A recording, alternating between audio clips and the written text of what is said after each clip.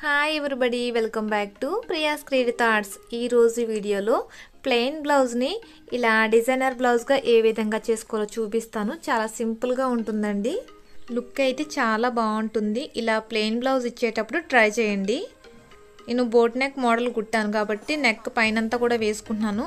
మీకు back side neck ఉందనుకోండి మొత్తం అంతా ఇంకా హెవీగా చేసుకోవచ్చు.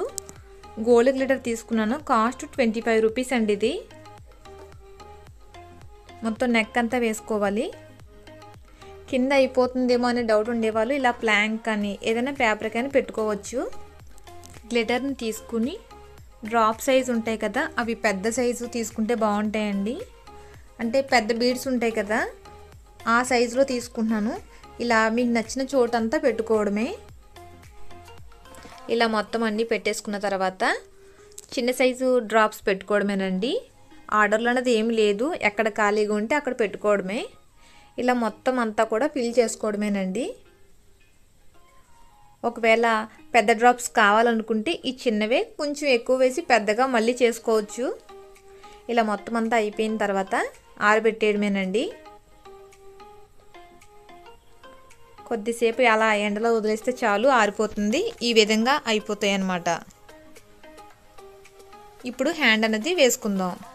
సేమ్ నెక్కకి ఏ విధంగా అయితే చేసామో ఇక్కడ కూడా అంతేనండి. ఇలా వేస్తున్నప్పుడు చూడండి హ్యాండ్కి బ్యాక్ సైడ్ ఇంకా ఉండిపోతుంది కదా. ఇది కంప్లీట్గా ఆరిన తర్వాతే అటువైపుని వేసుకోవాలండి.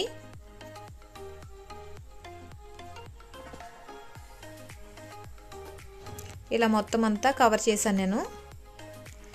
ఇంకొక హ్యాండ్ కూడా వేసేసాను నేను ఇప్పుడు.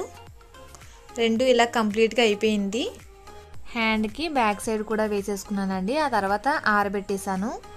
లుక్ అయితే ఈ విధంగా ఉంటుంది. గోల్డ్ బీడ్స్ ఏ విధంగా వర్క్ అయితే చేసుకుంటామో అదే విధంగా ఉంటుంది ఇది. చాలా సింపుల్గా అయిపోతుంది కదా. చూసారుగా నా వీడియో?